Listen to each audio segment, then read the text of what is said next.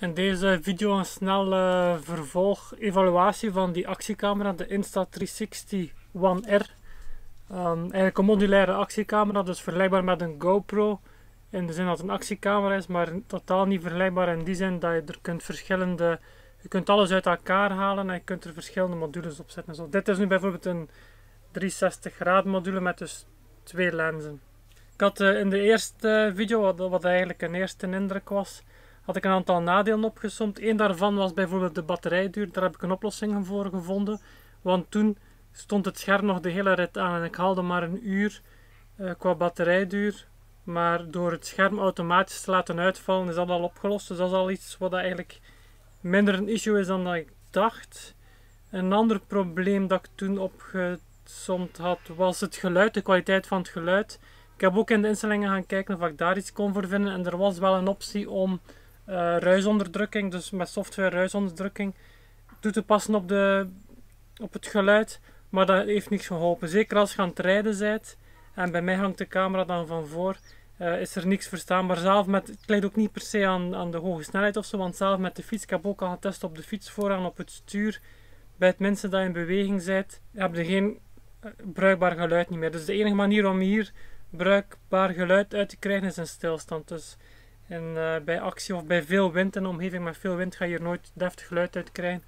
Op zich, GoPro heeft daar wel een oplossing voor met die dubbele camera dat ik uitgelegd heb. De dubbele microfoon dat ik uitgelegd heb.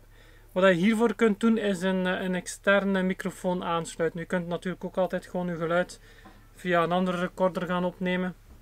Om dat probleem op te lossen. Eventueel in je helm bijvoorbeeld als je op de motor wilt opname maken. Maar dus ondanks de instelling die ik getest heb, krijg dan altijd geen deftig geluid uit. Dus dat een nadeel blijft. Een ander nadeel dat ik opgezomd had was hier dat als, uh, dus dat zit nu in een behuizing. En als de camera in die behuizing zit, is dit klepje heel moeilijk bereikbaar. Dat is nog altijd het geval. Maar met een beetje oefening ben ik er wel aan uit nu hoe dat je dat kunt eruit halen en er terug insteken. Dus dat lukt wel al. Maar ik heb al ontdekt dat um, er zit ook zo, daar zit ook de micro SD kaart in. En als je die dat is zo een systeem dat als je erop duwt dat het er half uitkomt of deels uitkomt en dan moet je met je uh, uh, vingers vastpakken om het er helemaal uit te halen.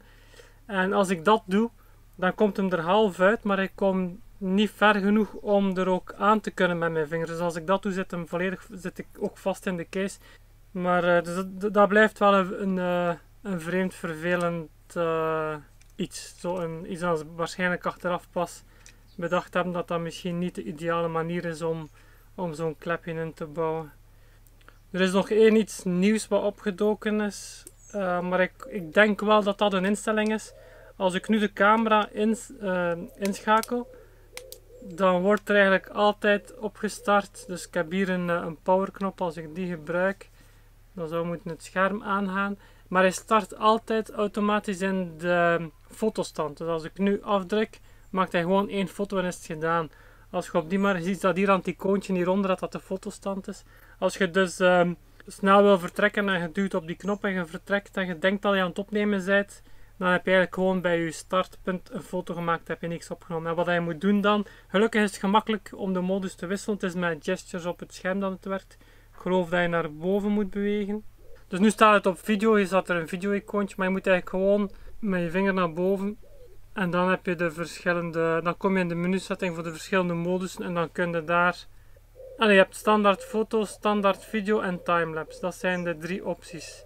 Dus die actie mag je niet vergeten. En je hebt ook als je naar links of naar rechts of naar onder of zo beweegt, heb je ook andere instellingen die, zijn zo quick settings, dat, dat werkt wel goed.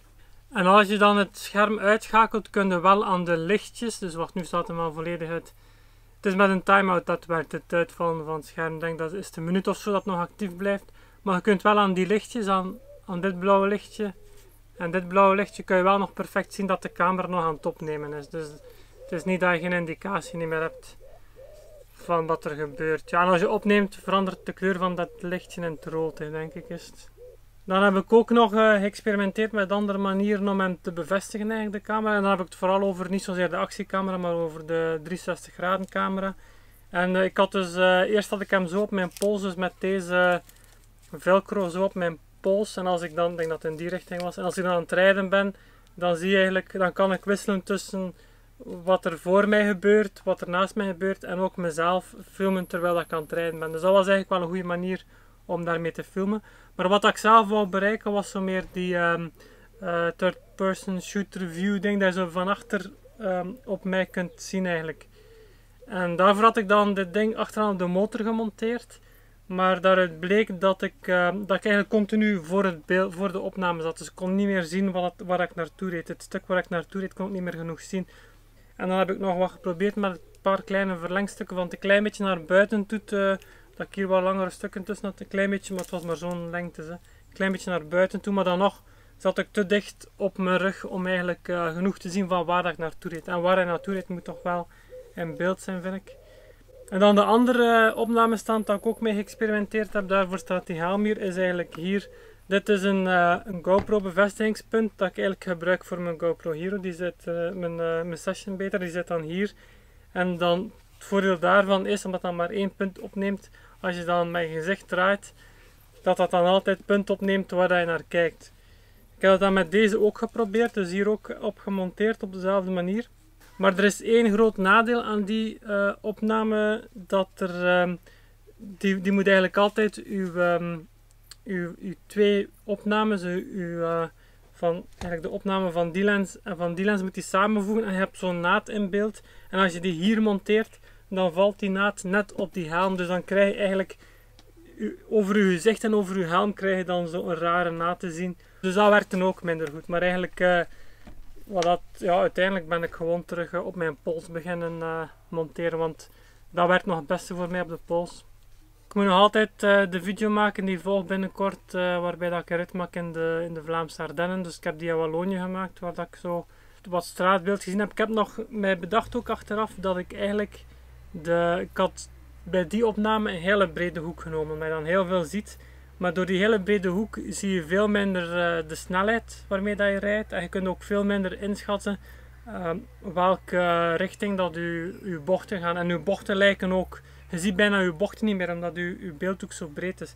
Dus als ik mijn rit opneem in de Vlaamse Ardennen, ik ga het eenvoudig houden. Dus ik ga gewoon van uh, Brakel, nee ik ga van Gerardsberg, de muur van Gerardsberg ik ga van daar naar Brakel rijden. Dat is een mooie baan. En dan kan ik eigenlijk doorrijden naar, van Brakel naar Oudenaarde. En dat is eigenlijk een schoon traject.